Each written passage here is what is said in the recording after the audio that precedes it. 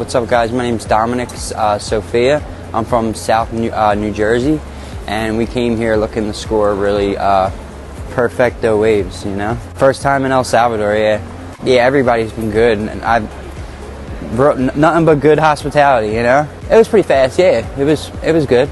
So I'm, I'm excited. I'm like, I'm like, can't fun. wait to surf. Thank you. Thanks, Thank guys. much.